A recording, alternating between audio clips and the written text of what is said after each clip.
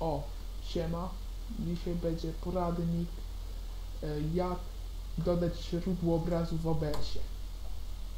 E, e, to sobie usunę.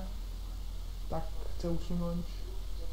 Robimy dot, klikamy na plusik i później dodajemy źródło danych. Przechwytywanie ekranu. Teraz sobie to jakoś nazywamy, nie wiem, ekran. Enter. Tak. Albo tutaj sobie możemy, jak chcecie, to sobie zmieniamy. Że chcecie nagrywać ekran 1 albo ekran 2. Czy chcecie, żeby było kursor, czy nie.